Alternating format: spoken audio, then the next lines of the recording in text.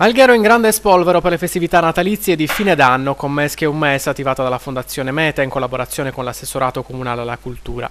Una fitta programmazione per l'intero periodo in cui all'interno della programmazione si insinua l'installazione di Antonio Marras dal suggestivo titolo Porto Dentro. Il progetto architettonico realizzato con Renata Fiamma si rifà al rito della comunità cittadina quando in tempi non lontanissimi, in occasione delle violente mareggiate di Maestrale, trasportava le spagnolette e i gozzi dei pescatori al riparo a terra. Le vere latine, le barche dei marinai come Raffaelina, Gloria, Barcelloneta Spinetta, Valverde e Pietruccia, che adesso riparano sicure all'interno delle mura cittadine, venivano condotte dentro anche attraverso Porto Salve nella piazza civica.